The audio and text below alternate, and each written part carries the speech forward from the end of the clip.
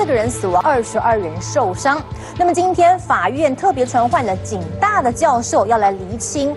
这个讨论一下，看看郑杰到底还有没有可能接受教化的可能性。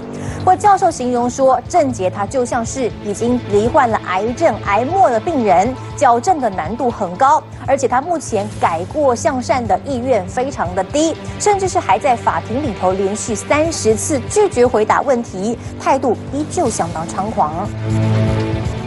在台北捷运造成四死二十二伤的郑捷再度开庭，他在月台拿着双刀像死神一般的恐怖场景还是历历在目。法院传唤帮他做教化鉴定的警大教授沈胜昂出庭，期间律师不断暗示郑捷到底有没有矫正的可能，教授则是维持一贯回答。经过十一次访谈，发现难度相当的高，而且要耗费大量社会资源，郑捷改变的意愿又很低。眼看情况不对，被逼急的律师继续套话，说郑捷是被媒体给妖魔化了吧？其实他还算是个。有人性的人，但检察官马上反呛，表示是人才能开庭，这是基本常识，要律师停止抽象假设的问题。最后，沈教授才说郑杰就像是个癌末病患，要不要救他，他无法决定。法庭内唇枪舌战相当激烈，甚至当检察官问有关案发当下的问题时，郑杰更是连呛了三十次，拒绝回答，态度相当嚣张。在众目睽睽之下犯了这种滔天大罪。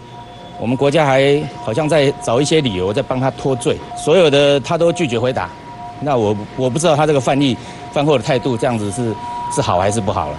死者家属看到郑杰的态度都相当不以为然。整个案件已经进入尾声，郑杰究竟是生还是死？判决快要出炉。记者方长一、叶伟林、陈如群，新美市报道。